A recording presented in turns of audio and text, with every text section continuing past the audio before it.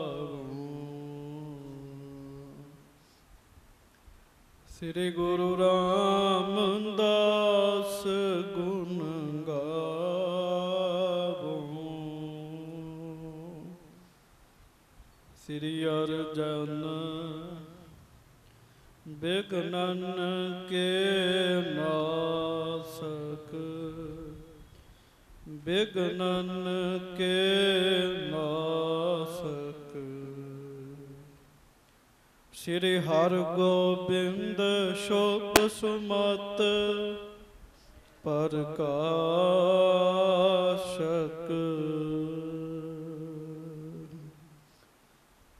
ਸ੍ਰੀ ਹਰ ਰਾਏ ਨਮੋ ਕਰ ਜੋਰੀ ਨਮੋ ਕਰ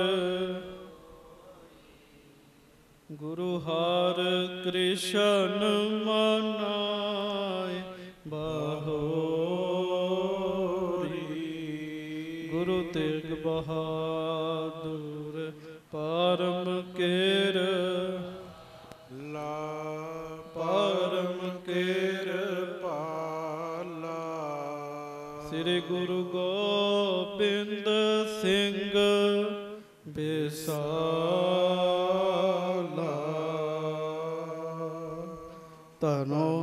ਧਰਾ ਪਰ ਪੁੰਨ ਪੁੰਨ ਸੀਸਾ, ਪੁੰਨ ਪੁੰਨ ਸੀਸਾ। ਬੰਦੋਂ ਬਾਰ ਬਾਰ ਜਗਦੀਸ਼ਾ।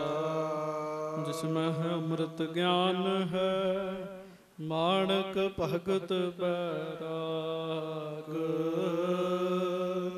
ਸ੍ਰੀ ਗੁਰੂ ਗ੍ਰੰਥ ਸਾਹਿਬ ਉਦਦ। ਬੰਦੋਂ ਕਰ ਅਨੁਰਾਗ। ਏਕੰਕਾਰ ਸਤਿਗੁਰੂ। ਤਿਹ ਪ੍ਰਸਾਦ ਸਚ ਹੋਏ। ਵਾਹਿਗੁਰੂ ਜੀ ਕੀ ਫਤਿਹ। ਬਿਗਨ ਬਿਨਾਸ਼ਨ ਸੋਏ। ਧੰਨ ਧੰਨ।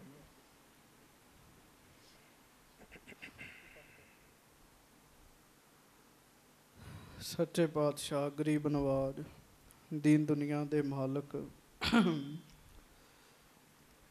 ਚਵਰ ਸ਼ਤਰ ਤਖਤ ਦੇ ਮਾਲਕ, ਸਮਰੱਥ ਗੁਰੂ, ਪ੍ਰਤਖ ਗੁਰੂ। ਦੀਨ ਦਿਆਲ ਕਿਰਪਾਲ, ਅੰਤਰਜਾਮੀ ਪੂਰਨ ਪਾਰ ਬ੍ਰਹਮ ਪਰਮੇਸ਼ਰ, ਵਾਹਿਗੁਰੂ ਅਕਾਲ ਪੁਰਖ ਸਵਰੂਪ ਸੱਚੇ ਪਾਤਸ਼ਾਹ।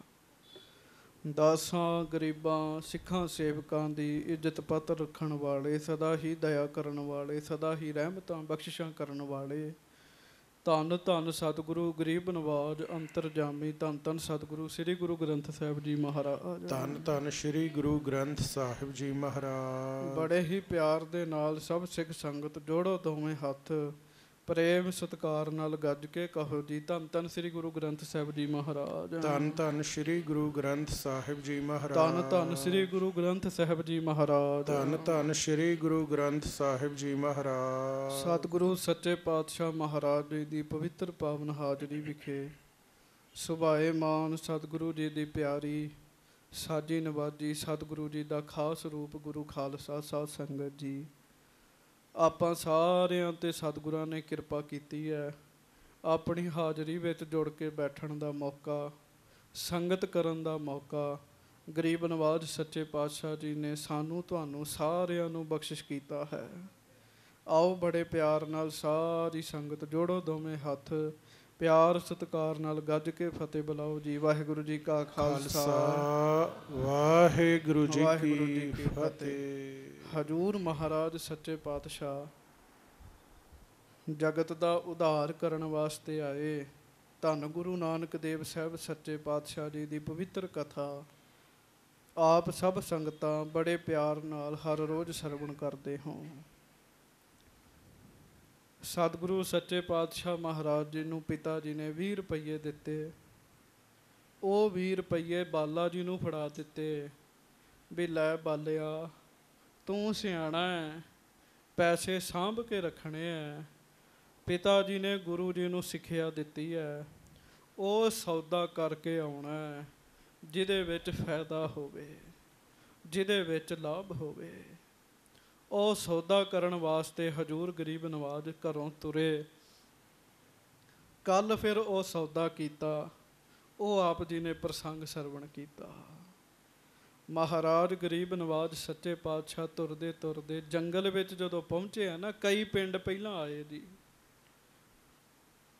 ਉਹਨਾਂ ਪਿੰਡਾਂ ਨੂੰ ਪਾਰ ਕਰਕੇ ਸੱਚੇ ਪਾਤਸ਼ਾਹ ਜਦੋਂ ਜੰਗਲ ਵਿੱਚ ਪਹੁੰਚੇ ਆ, ਜੰਗਲ ਵਿੱਚ ਬਹੁਤ ਵੱਡਾ ਇੱਕ ਆਸ਼ਰਮ ਹੈ ਤੇ ਬੜੀ ਭਜਨ ਬੰਦਗੀ ਕਰਨ ਵਾਲੇ ਗੁਰਮੁਖ ਪਿਆਰੇ ਜਿਹੜੇ ਆ, ਉਸ ਜੰਗਲ ਵਿੱਚ ਰਹਿੰਦੇ ਆ। ਦਾਸ ਨੇ ਕੱਲ ਵੀ ਬੇਨਤੀ ਕੀਤੀ ਸੀਗੀ ਸਾਡੇ ਬੰਦਿਆਂ ਜਿਹਨੂੰ ਕੱਖ ਨਹੀਂ ਆਉਂਦਾ ਨਾ ਜੀ, ਉਹਨੂੰ ਇੱਕ ਕੰਮ ਤੇ ਆਉਂਦਾ ਜੀ, ਦੂਜੇ ਨੂੰ ਗਲਤ ਕਿਵੇਂ ਕਹਿਣਾ ਹੈ ਜੀ? ਹੋਰ ਕੱਖ ਨਹੀਂ, ਇੰਨਾ ਕੁ ਤੇ ਆਮ ਆਉਂਦਾ ਹੀ ਆ ਸਾਰਿਆਂ ਨੂੰ ਜੀ। ਕਰਨਾ ਕੁਛ ਨਹੀਂ ਜੀ, ਤੇ ਜਿਹੜੇ ਬਹੁਤ ਕੁਝ ਕਰ ਰਹੇ, ਉਹਨਾਂ ਦੀ ਨਿੰਦਾ ਕਰੀ ਜਾਣੀ ਜੀ। ਮਹਾਰਾਜ ਸੱਚੇ ਪਾਤਸ਼ਾਹ ਨੇ ਵੇਖਿਆ ਕੋਈ ਪੁੱਠਾ ਲਟਕ ਕੇ ਭਜਨ ਕਰ ਰਿਹਾ ਉਹ ਸਾਧੂ ਜੀ, ਕੋਈ ਅੱਗ ਦੇ ਵਿੱਚ ਬੈਠਾ ਹੈ। ਕੋਈ ਪਾਣੀ ਦੇ ਵਿੱਚ ਬੈਠਾ ਹੈ ਤੇ ਕੋਈ ਸਾਧ ਸੰਗਤ ਜੀ ਪਦਮ ਆਸਣ ਵਿੱਚ ਬੈਠਾ ਹੈ। ਕੋਈ ਇੱਕ ਪੈਰ ਤੇ ਖਲੋ ਕੇ ਜਪ ਤਪ ਕਰ ਰਿਹਾ ਹੈ। ਕੋਈ ਖਲੋਤਾ ਹੀ ਹੈ, ਉਹਨੇ ਹੋਰ ਕੁਝ ਨਹੀਂ ਕਰਨਾ, ਬਹਿਣਾ ਨਹੀਂ ਹੈ, ਖਲੋ ਕੇ ਭਜਨ ਕਰਨਾ ਹੈ। ਬੜਾ ਭਜਨ ਕਰ ਰਹੇ ਹੈ। ਹੋਰ ਉਹਨਾਂ ਨੂੰ ਕੋਈ ਕੰਮ ਨਹੀਂ, ਸਿਮਰਨ ਕਰਨਾ ਬਸ ਉਹਨਾਂ। ਤਨ ਤੇ ਕੱਪੜੇ ਨਹੀਂ ਪਾਏ। ਗੁਰੂ ਸਾਹਿਬ ਸੱਚੇ ਪਾਤਸ਼ਾਹ ਅੱਗੇ ਵਧੇ। ਸਭ ਤੋਂ ਵੱਡੀ ਉਮਰ ਦਾ ਜਿਹੜਾ ਸਾਧੂ ਸੀ, ਜਿਨੇ ਆਪਣੇ ਲੱਕ ਨੂੰ ਇੱਕ ਰੁੱਖ ਦੀ ਛਿੱਲ ਬੰਨੀ ਹੋਈ ਸੀ ਸਾਧ ਸੰਗਤ ਜੀ।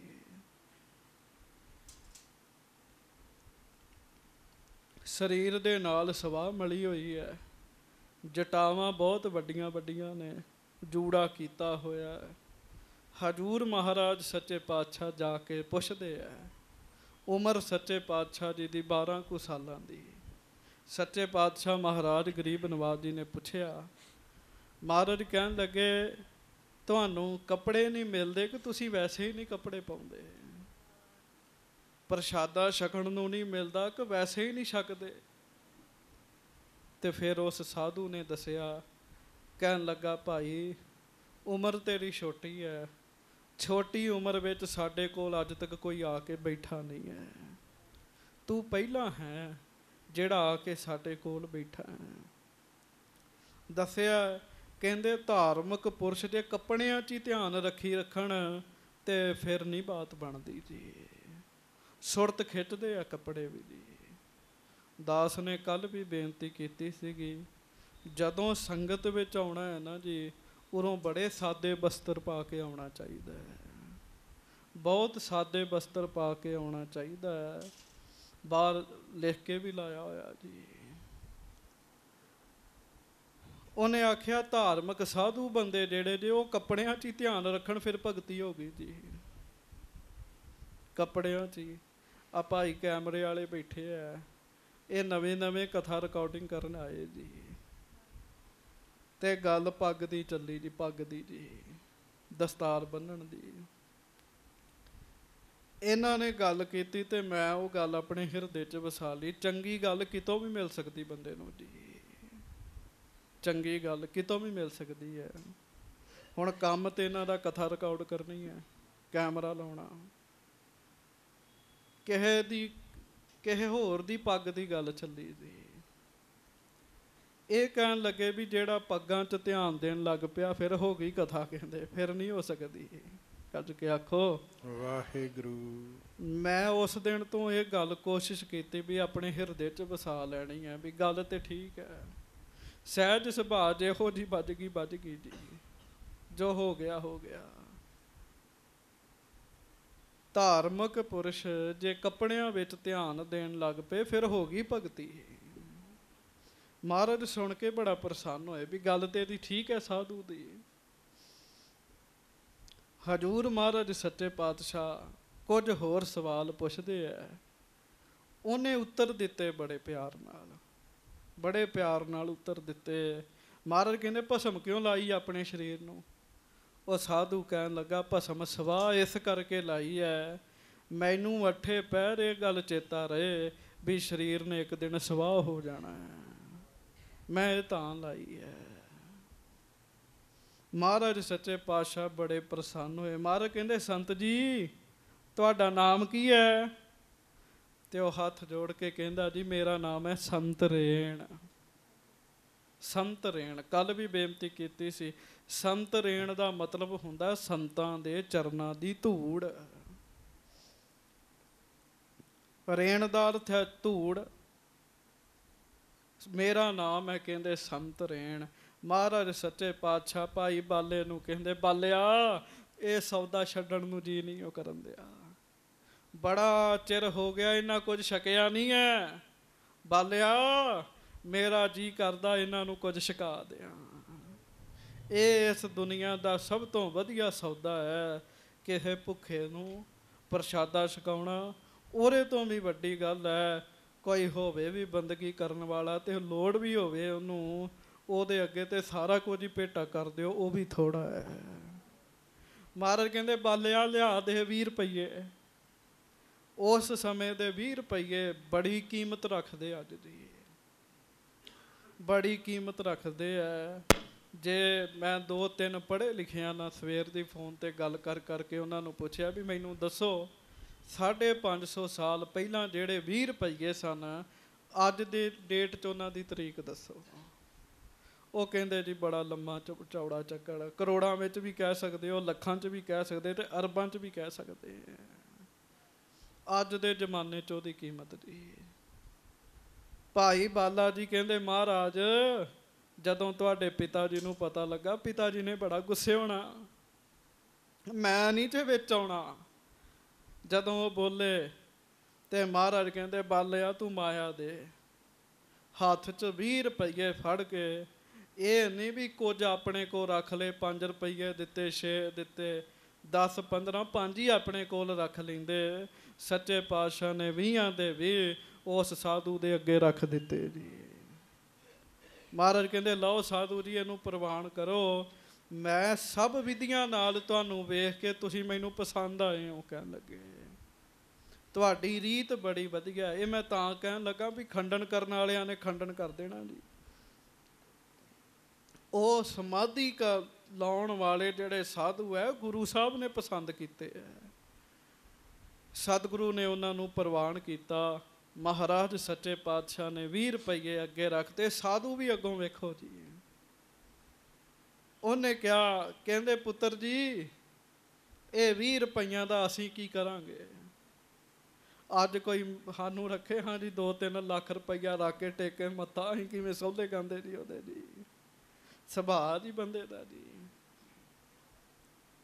ਉਹਨੇ ਆਖਿਆ, ਕਹਿਣ ਲੱਗਾ ਇੰਜ ਕਰੋ, ਇਹ 20 ਰੁਪਏ ਲੈ ਜਾਓ, ਇਹਨਾਂ ਦੀ ਥਾਂ ਤੇ ਸਾਨੂੰ ਸੁੱਕੀ ਰਸਦ ਲਿਆ ਦਿਓ। ਮਹਾਰਾਜ ਕਹਿੰਦੇ, ਠੀਕ ਹੈ।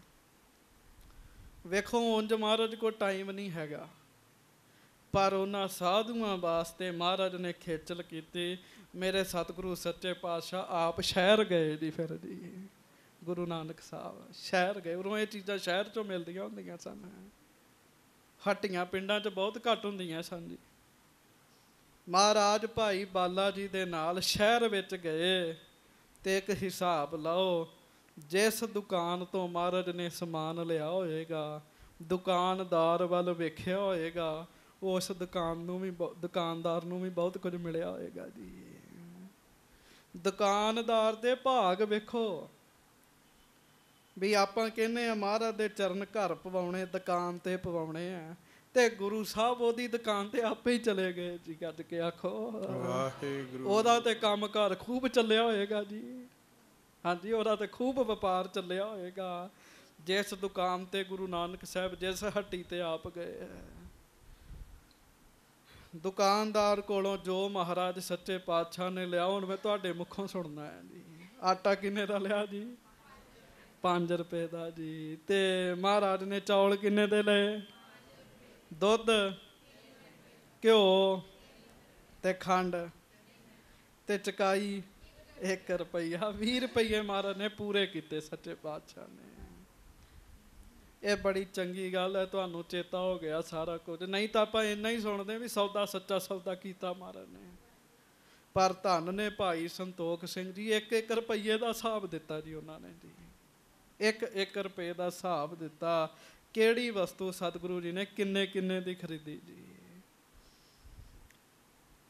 ਤੇ ਮਹਾਰਾਜ ਸੱਚੇ ਪਾਤਸ਼ਾਹ ਗਰੀਬ ਨਵਾਜ ਸਾਰਾ ਸਮਾਨ ਚੁਕਾ ਕੇ ਲੈ ਕੇ ਆਏ। ਭਾਰ ਚੁੱਕਣ ਵਾਲੇ ਨੂੰ ਵੀ ਸਤਿਗੁਰੂ ਜੀ ਦੇ ਦਰਸ਼ਨ ਹੋ ਗਏ ਜੀ। ਜਿਨੇ ਭਾਰ ਚੁੱਕਿਆ, ਉਹਨੂੰ ਮਹਾਰਾਜ ਦੇ ਦਰਸ਼ਨ ਹੋ ਗਏ। ਨਾਲੇ 1 ਰੁਪਈਆ ਲਿਆ ਉਹਨੇ ਉਸ ਸਮੇਂ ਵਿੱਚ। ਉਸ ਸਮੇਂ ਵਿੱਚ ਜਦੋਂ ਦਾ ਪ੍ਰਸੰਗ ਤੁਸੀਂ ਸੁਣ ਰਹੇ ਹੋ ਨਾ ਜੀ, ਟਕਾ ਵੀ ਕਿਸੇ ਵਿਰਲੇ ਭਾਗਾਂ ਵਾਲੇ ਕੋ ਹੁੰਦਾ ਸੀਗਾ ਜੀ। ਟਕਾ ਵੀ। ਅੱਜ ਤੋਂ 30 35 ਸਾਲ ਪਹਿਲਾਂ ਹੀ ਸਮਾਨ ਬਹੁਤ ਸਸਤਾ ਸੀਗਾ। ਔਰ ਤੋਂ ਪਹਿਲਾਂ ਹੋਰ ਚਲੇ ਜਾਓ, ਉਹਦੇ ਤੋਂ ਪਹਿਲਾਂ ਹੋਰੇ ਤੇ 500 ਸਾਲ ਪਹਿਲਾਂ ਦੀ ਗੱਲ ਹੈ। 500 550 ਸਾਲ ਹੋ ਗਏ ਮਹਾਰਾਜ ਸੱਚੇ ਪਾਤਸ਼ਾਹ ਨੂੰ। ਉਹਨੂੰ ਵੀ ਮਹਾਰਾਜ ਨੇ ਨਿਹਾਲ ਕੀਤਾ 1 ਰੁਪਈਆ ਹੀ ਪੂਰਾ ਦੇਤਾ ਵੀ ਰੱਖ ਲਾ। ਸਮਾਨ ਚਕਾਇਆ, ਉਹਨਾਂ ਸੰਤਾਂ ਦੇ ਅੱਗੇ ਰੱਖਤਾ ਜੀ। ਤੇ ਮਹਾਰਾਜ ਸੱਚੇ ਪਾਤਸ਼ਾਹ ਗਰੀਬ ਨਵਾਜ ਉਥੋਂ ਵਾਪਸ ਆ ਗਏ ਜੀ। ਉੱਥੋਂ ਵਾਪਸ ਆਪਣੇ ਘਰ ਨੂੰ ਤੁਰ ਪਏ। ਅੱਗੋਂ ਹੁਣ ਕਥਾ ਆਰੰਭ ਹੁੰਦੀ ਹੈ। ਉਹ ਕਥਾ ਆਪਾਂ ਬੜੇ ਪਿਆਰ ਨਾਲ ਸੁਣਨੀ। ਮੈਂ ਥੋੜਾ ਜਿਹਾ ਸਮਾਂ ਤਾਂ ਲਾਇਆ, ਮੈਨੂੰ ਮਾਫੀ ਬਖਸ਼ਿਓ। ਕਥਾ ਤੁਸੀਂ ਕੱਲ ਸਾਰੀ ਸੁਣ ਲਈ ਤੇ ਥੋੜੀ ਜਿਹੀ ਵੱਧ ਰਿਪੀਟ ਕਰਨੀ ਪਈ ਹੈ। ਭਾਈ ਸੰਦੀਪ ਸਿੰਘ ਜੀ ਯੂਕੇ ਤੋਂ ਆਏ ਹੈ। ਬੜੇ ਪਿਆਰ ਨਾਲ ਉਥੇ ਵਿਦੇਸ਼ ਵਿੱਚ ਕਥਾ ਸਰਵਣ ਕਰਦੇ ਆ ਉਂਝ ਪਤ ਪ੍ਰਸੰਗ ਦਾ ਪਤਾ ਨਹੀਂ ਲੱਗਣਾ ਤੇ ਸੁਣਿਆ, ਪਤਾ ਨਹੀਂ ਇਹਨਾਂ ਨੂੰ ਮੌਕਾ ਮਿਲਣਾ ਹੀ ਕਿ ਨਹੀਂ। ਆਓ ਹੁਣ ਬੜੇ ਪਿਆਰ ਦੇ ਨਾਲ ਸਾਰੀ ਸੰਗਤ ਆਖੋ ਧੰਨ ਗੁਰੂ ਨਾਨਕ ਦੇਵ ਸਾਹਿਬ ਜੀ ਮਹਾਰਾਜ। ਧੰਨ ਸ਼੍ਰੀ ਗੁਰੂ ਨਾਨਕ ਦੇਵ ਸਾਹਿਬ ਜੀ ਮਹਾਰਾਜ। ਨਾਮ ਸ੍ਰੀ ਵਾਹਿਗੁਰੂ ਸਾਹਿਬ ਜੀ। ਜਬ ਹਮ ਗਮਨੇ ਤਿਨ ਕੋ ਤਿਆਗੀ। ਭਾਈ ਬਾਲਾ ਜੀ ਗੁਰੂ ਅੰਗਦ ਸਾਹਿਬ ਨੂੰ ਕਥਾ ਸੁਣਾ ਰਹੇ ਹੈ ਜਿਹੜੀ ਕਥਾ ਤੁਸੀਂ ਸੁਣ ਰਹੇ ਹੋ ਨਾ ਇਹ ਕਥਾ ਸਤਿਗੁਰੂ ਗੁਰੂ ਅੰਗਦ ਸਾਹਿਬ ਵੀ ਸੁਣਦੇ ਹੁੰਦੇ ਸਨ। ਭਾਈ ਬਾਲਾ ਜੀ ਕਹਿੰਦੇ ਮਹਾਰਾਜ ਜਦੋਂ ਮੈਂ ਧੰਨ ਗੁਰੂ ਨਾਨਕ ਸਾਹਿਬ ਜੀ ਦੇ ਨਾਲ ਤਲਵੰਡੀ ਨੂੰ ਆਉਣ ਲੱਗ ਪਿਆ ਤੇ ਬਾਅਦ ਵਿੱਚ ਉਹਨਾਂ ਸੰਤਾਂ ਦੇ ਡੇਰੇ 'ਚ ਕੀ ਹੋਇਆ ਉਹ ਸੁਣੋ। ਹਾਂਜੀ। ਬੋਲੇ ਸੰਤ ਗਿਰਾ ਅਨੁਰਾਗੀ। ਦੂਜੇ ਜਿਹੜੇ ਸੰਤ ਸਨ ਉਹ ਮੁਖੀ ਸੰਤ ਨੂੰ ਸੰਤ ਰੇਣ ਨੂੰ ਦੂਜੇ ਭਗਤੀ ਕਰਨ ਵਾਲੇ ਜਿਹੜੇ ਸੰਤ ਗੁਰਮੁਖ ਪਿਆਰੇ ਸਨ ਉਹ ਸਾਰੇ ਇੰਜ ਕਹਿਣ ਲੱਗੇ ਹਾਂਜੀ। ਆਰ ਬਲਾ ਲਘੂ ਬਾਲ ਸੁਚਾਰੀ। ਕਹਿੰਦੇ ਮਹੰਤ ਜੀ ਬੱਚੇ ਦੀ ਉਮਰ ਤੇ ਛੋਟੀ ਸੀਗੀ ਪਰ ਸਿਆਣਾ ਬਹੁਤ ਹੈ ਗੱਜ ਕੇ ਆਖੋ। ਵਾਹਿਗੁਰੂ। ਬੱਚੇ ਦੀ ਉਮਰ ਛੋਟੀ ਹੈ ਸਿਆਣਾ ਬਹੁਤ ਹੈ ਹੁਣ ਉਹਨਾਂ ਨੂੰ ਅਜੇ ਇੰਨਾ ਨਹੀਂ ਸੀ ਚਾਨਣਾ। ਹਾਂਜੀ। ਗਿਰਾ ਵਿਰਾਗ ਭਗਤ ਭਲ ਸਾਲੀ ਗੱਲਾਂ ਕਰਦੇ ਸਨ ਭਗਤੀ ਦੀਆਂ। ਚੰਗੀ ਚਾਲ ਵਾਲੀਆਂ ਗੱਲਾਂ ਕਰਦੇ। ਬੱਚੇ ਕਿੱਥੋਂ ਭਗਤੀ ਦੀਆਂ ਗੱਲਾਂ ਕਰਦੇ ਆ ਜੀ? ਦੂਜੇ ਸੰਤ ਨੂੰ ਕਹਿ ਰਹੇ ਆ, ਵੱਡੇ ਸੰਤ ਨੂੰ ਜੀ, ਵੀ ਭਗਤੀ ਵਾਲੀਆਂ ਗੱਲਾਂ ਤੁਹਾਡੇ ਨਾਲ ਕਰ ਰਹੇ ਸਨ। ਫਿਰ ਇੰਨਾ ਵੱਡਾ ਤਿਆਗ, ਇੰਨਾ ਖੁੱਲਾ ਵੱਡਾ ਪ੍ਰਬੰਧ, ਇੰਨੀ ਜ਼ਿਆਦਾ ਰਸਦ ਸਾਨੂੰ ਦੇ ਗਏ ਹੈ ਤੇ ਕੱਲ ਤੁਸੀਂ ਸੁਣਿਆ ਨਾ, ਸੰਤ ਰੇਣ ਨੇ ਆਖਿਆ ਸੀਗਾ, ਬਿਨਾਂ ਦੱਸਿਆ ਅੰਤਰਯਾਮਤਾ ਨਾ ਮਹਾਰਾਜ ਨੂੰ ਕਹਿ ਸਕ ਕਹਿਤਾ ਸੀ ਵੀ ਤੁਹਾਡੇ ਪਿਤਾ ਜੀ ਨੇ ਤੁਹਾਨੂੰ ਵਪਾਰ ਕਰਨ ਨੂੰ ਇਹ ਮਾਇਆ ਦਿੱਤੀ ਹੈ। ਇਹ ਨਾ ਹੋਵੇ ਬਾਅਦ ਚੋਂ ਕੁਝ ਆਖਣ। ਤੇ ਗੁਰੂ ਨਾਨਕ ਸਾਹਿਬ ਜੀ ਨੇ ਸੰਤਰੇ ਨੂੰ ਆਖਿਆ ਵੀ ਇਹਦੇ ਤੋਂ ਵਧੀਆ ਸੌਦਾ ਹੋਰ ਕਿਹੜਾ ਹੈਗਾ? ਇਹਦੇ ਤੋਂ ਵਧੀਆ ਹੋਰ ਕਿਹੜਾ ਸੌਦਾ ਹੈ? ਕਹਿੰਦੇ ਏਡਾ ਸਿਆਣਾ ਬੱਚਾ ਇੰਨੀ ਛੋਟੀ ਉਮਰ। ਹਾਂਜੀ। ਤੁਮ ਸੋ ਆਨ ਕੀਨ ਬਹੁ ਭਾਊ।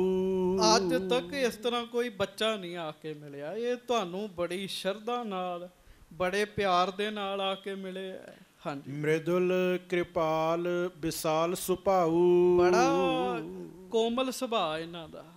ਬੜਾ ਕੋਮਲ ਸੁਭਾਅ। ਵੇਖ ਲੋ ਭਾਵੇਂ ਬੱਚਾ ਭਾਵੇਂ ਵੱਡਾ ਸੁਭਾਅ ਦਾ ਅਸਰ ਪੈਂਦਾ ਜੇ।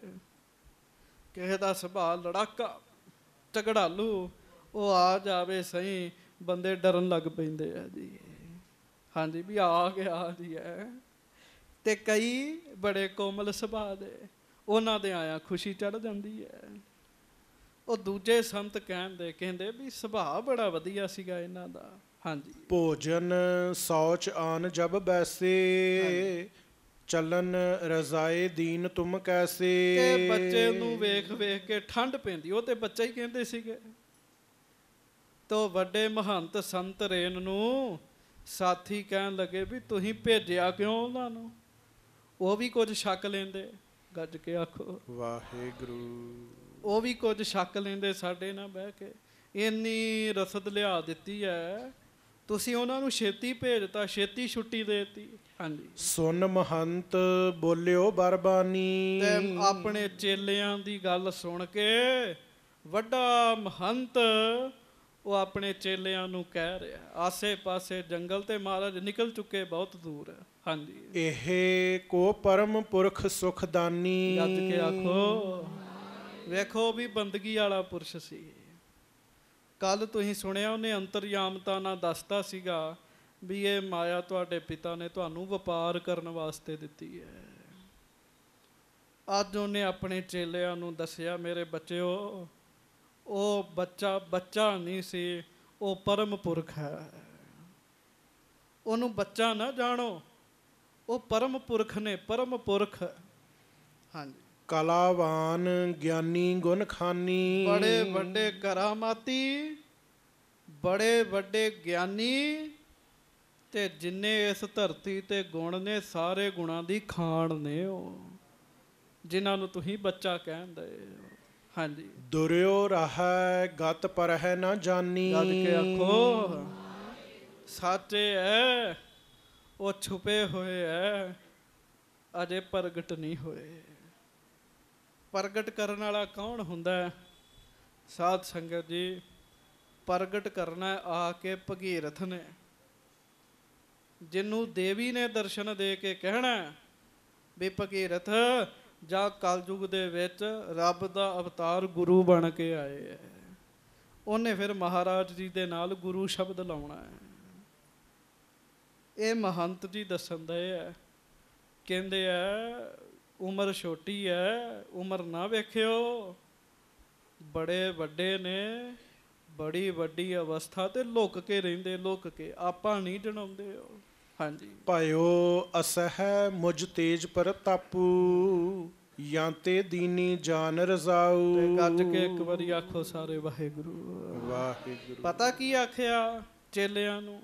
ਕਹਿੰਦੇ ਚੇਲਿਓ ਤੁਸੀਂ ਆਖਿਆ ਉਹਨੂੰ ਜਾਣ ਕਿਉਂ ਦਿੱਤਾ? ਜਦੋਂ ਮੇਰੇ ਸਾਹਮਣੇ ਬੈਠੇ ਸੀ, ਮੈਨੂੰ ਇਉਂ ਲੱਗਾ ਜਿਵੇਂ ਕਰੋੜਾਂ ਸੂਰਜ ਮੇਰੇ ਸਾਹਮਣੇ ਚੜ ਗਏ ਹੋਣ ਕਹਿੰਦੇ ਉਹਨਾਂ ਦਾ ਇੰਨਾ ਤੇਜ ਪ੍ਰਤਾਪ ਹੈ। ਇੰਨਾ ਤੇਜ ਪ੍ਰਤਾਪ ਸੀਗਾ, ਮੇਰੀਆਂ ਅੱਖਾਂ ਉਸ ਉਹਨਾਂ ਦਾ ਤੇਜ ਪ੍ਰਤਾਪ ਨਹੀਂ ਸੀ ਝੱਲ ਸਕਦੀਆਂ। ਇਸ ਕਰਕੇ ਮੈਂ ਉਹਨਾਂ ਨੂੰ ਜਾਣ ਦੀ ਪਹਿਲਾਂ ਹੀ ਆਗਿਆ ਦੇ ਦਿੱਤੀ। ਵੀ ਜਾਓ। ਉਹਦਾ ਉਹ ਕਿਉਂ ਹੁਣ ਬੰਦਗੀ ਵਾਲਾ ਉਹਨੂੰ ਪਤਾ ਹੈ ਉਹ ਕਹਿੰਦਾ ਜਦੋਂ ਮੇਰੇ ਸਾਹਮਣੇ ਆ ਕੇ ਬਹਿ ਗਏ ਮੈਨੂੰ ਤੇ ਇਉਂ ਲੱਗਾ ਜਿਵੇਂ ਕਰੋੜਾਂ ਸੂਰਜ ਚੜ ਗਏ ਹੋਣ ਇਕੱਠਿਆਂ। ਇੰਨਾ ਤੇਜ ਇੰਨਾ ਪ੍ਰਤਾਪ ਸੀ ਉਹਨਾਂ ਦਾ। ਇਸ ਕਰਕੇ ਮੈਂ ਉਹਨਾਂ ਨੂੰ ਆਗਿਆ ਦੇ ਦਿੱਤੀ। ਮੈਂ ਉਹਨਾਂ ਦਾ ਤੇਜ ਪ੍ਰਤਾਪ ਨਹੀਂ ਸੀ ਸਹਿਣ ਕਰ ਸਕਦਾ। ਹਾਂਜੀ। ਅਸ ਕਹਿ ਤਬ ਕੀਨੋ ਪੁਨ ਅਸਨਾ ਖਾਨ ਲੱਗੇ ਸਵਾਦਲ ਰੇ ਰਸਨਾ। ਹੁਣ ਆਪਣੇ ਮਤਲਬ ਦੀ ਗੱਲ ਆ ਗਈ ਹੈ। ਬੜੇ ਧਿਆਨ ਨਾਲ ਸੁਣਿਓ ਗੱਜ ਕੇ ਆਖੋ। ਵਾਹਿਗੁਰੂ ਇਹ ਕਹਿ ਕੇ ਮਹੰਤ ਸੰਤ ਰੇਣ ਨੇ ਆਖਿਆ ਭੋਜਨ ਬਣਾਓ। ਭੋਜਨ ਬਣਾਓ ਸਾਡੇ ਵੱਡੇ ਭਾਗ ਨੇ ਉਹ ਖੁਦ ਪਰਮੇਸ਼ਰ ਦਾ ਰੂਪ ਆਪ ਸਾਨੂੰ ਰਸਦਾਂ ਦੇ ਕੇ ਗਏ ਆ ਕਿਉਂ ਨਾ ਪ੍ਰਸ਼ਾਦਾ ਛਕਾਂਗੇ। ਅੱਜ ਰੱਜ ਰੱਜ ਕੇ ਛਕਣਾ ਹੈ ਪਿਆਰਿਓ 7 ਦਿਨ ਹੋ ਗਏ ਸੀਗੇ ਇਹ ਸੰਤ ਭੁੱਖੇ ਬੈਠੇ ਹੋਏ ਸਨ ਸਾਰੇ ਜੀ। 7 ਦਿਨ ਹੋ ਚੁੱਕੇ ਸਨ। ਹਫਤਾ ਭੁੱਖਿਆਂ ਰਹਿਣਾ ਕੋਈ ਛੋਟਾ ਕੰਮ ਨਹੀਂ ਹੈਗਾ ਜੀ। ਇੱਥੇ ਇੱਕ ਡੰਗ ਦਾ ਪ੍ਰਸ਼ਾਦਾ ਨਾ ਮਿਲੇ ਤੇ ਘਰ ਸਿਰ ਚੁੱਕਣੇ ਲਿਆ ਹੁੰਦਾ ਬੰਦੇ ਨੇ ਜੀ। ਤੇ 7 ਦਿਨ ਬੜੀ ਵੱਡੀ ਗੱਲ ਹੈ। ਇੱਕ ਹਫਤਾ ਹੋ ਗਿਆ, ਕੁਛ ਨਹੀਂ ਸੀ ਛਕਿਆ। ਮਹੰਤ ਸੰਤ ਰੇਣ ਨੇ ਆਖਿਆ, ਤਿਆਰ ਕਰੋ। ਜੋ ਦੇਖ ਕੇ ਗਏ ਆ ਛਕੀਏ ਸਾਡੇ ਵੱਡੇ ਭਾਗ ਇਸ ਰਸਦ ਨੂੰ ਉਹਨਾਂ ਦੇ ਹੱਥ ਲੱਗੇ ਹੋਏ ਨੇ। ਹਾਂਜੀ। ਸਿਤਾ ਘ੍ਰਿਤ ਮੇਲਿਓ ਸੰਗ ਪਾਇਸ। ਫਿਰ ਉਹਨਾਂ ਸੰਤਾਂ ਨੇ ਰਲ ਕੇ ਕੀ ਬਣਾਈ? ਹਾਂਜੀ ਖੀਰ ਗੱਜ ਕੇ ਆਖੋ। ਖੀਰ ਬਣਾਈ ਉਹਨਾਂ ਸੰਤਾਂ ਨੇ ਖੀਰ ਜੀ। ਤੇ ਸਿਤਾ ਘ੍ਰਿਤ ਮੇਲਿਓ ਸੰਗ ਪਾਇਸ। ਸਾਧ ਸੰਗਤ ਜੀ, ਜਿੱਥੇ ਖੀਰ ਚ ਮਿੱਠਾ ਪਾਇਆ, ਉੱਥੇ ਖੀਰ ਚ ਦੇਸੀ ਘਿਓ ਵੀ ਪਾਇਆ ਜੀ। ਕਿਉਂ ਮਹਾਰਾਜ ਸੱਚੇ ਪਾਤਸ਼ਾਹ 3 ਰੁਪਏ ਦਾ ਦੇ ਕੇ ਗਏ ਹੈ ਜੀ ਉਹਨਾਂ ਨੂੰ? ਦੇਸੀ ਘਿਓ ਤੇ ਐਂ ਚਿੰਤਾ ਨਹੀਂ ਕਰਨੀ, ਖੀਰ ਬਣਾ ਕੇ ਰੱਖੀ, ਦੇਸੀ ਘਿਓ ਵੀ ਵਿੱਚ ਪਾ ਕੇ ਰੱਖਿਆ ਸੀ ਜੀ। ਹਾਂਜੀ, ਕਥਾ ਤੋਂ ਬਾਅਦ ਆਪਾਂ ਸਾਰਿਆਂ ਨੇ ਦੇਸੀ ਘਿਓ ਵਾਲੀ ਖੀਰ ਛਕਣੀ ਹੈ। ਤੇ ਸੋਚਣਾ ਵੀ ਅਸੀਂ ਉਹੋ ਹੀ ਪਦਾਰਥ ਛਕ ਰਹੇ ਹਾਂ, ਜਿਹੜੇ ਗੁਰੂ ਨਾਨਕ ਦੇਵ ਸਾਹਿਬ ਸੱਚੇ ਪਾਤਸ਼ਾਹ ਉਹਨਾਂ ਸੰਤਾਂ ਨੂੰ ਦੇ ਕੇ ਗਏ ਨੇ। ਕਿਉਂ? ਦਿੱਤਾ ਤੇ ਸਾਰਾ ਮਹਾਰਾਜ ਦਾ ਹੀ ਹੈ ਨਾ ਜੀ। ਉਰੋਂ ਦਾ 20 ਰੁਪਈਆਂ ਦਾ ਸ਼ੁਰੂ ਕੀਤਾ, ਉਹ ਅੱਜ ਤੱਕ ਨਹੀਂ ਮੁੱਕਿਆ ਜੀ। ਅੱਜ ਤੱਕ ਨਹੀਂ ਮੁੱਕਿਆ ਤੇ ਨਾ ਇਹ ਮੁੱਕਣਾ ਹੈ, ਇਹ ਗੁਰੂ ਨਾਨਕ ਦੇਵ ਸਾਹਿਬ ਜੀ ਦਾ ਲੰਗਰ ਚੱਲਦਾ ਹੀ ਰਹਿਣਾ ਹੈ ਸਾਧ ਸੰਗਤ ਜੀ। ਚੱਲਦਾ ਹੀ ਰਹਿਣਾ ਮਹਾਰਾਜ ਦਾ ਲੰਗਰ।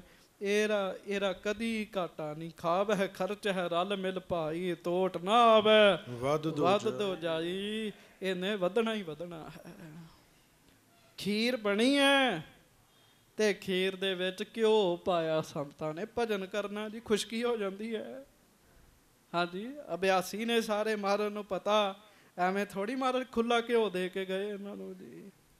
ਅਭਿਆਸੀ ਆ ਪੁੱਠੇ ਲਟਕ ਲਟਕ ਕੇ ਜਪ ਤਪ ਕਰਨ ਦੇ ਆ। ਤੇ ਠੰਡ ਦਾ ਸਮਾਂ ਇਸ ਕਰਕੇ ਮਹਾਰਾਜ ਸੱਚੇ ਪਾਤਸ਼ਾਹ ਦੇਸੀ ਘਿਓ ਵੀ ਦੇ ਕੇ ਗਏ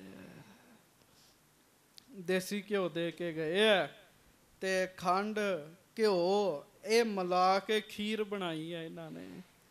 ਹਾਂਜੀ। ਸੰਤ ਸ਼ੁਧਾ ਤੁਰ ਤ੍ਰਿਪਤੇ ਖਾਇਸ। ਜਿੰਨੇ ਸੰਤ ਸਨ ਸਾਰਿਆਂ ਰੱਜ ਰੱਜ ਕੇ ਖਾਦੀ ਜੀ।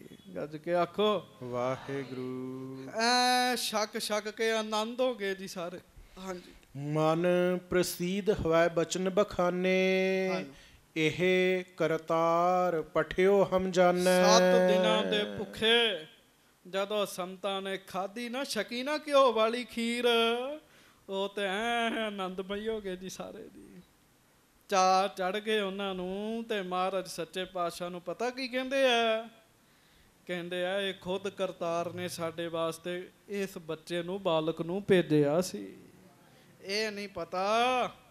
ਖੁਦ ਕਰਤਾਰ ਨੇ ਬੱਚਾ ਨਹੀਂ ਭੇਜਿਆ ਖੁਦ ਕਰਤਾਰ ਆਪ ਹੀ ਆਏ ਹੈ ਇਹ ਨਹੀਂ ਪਤਾ।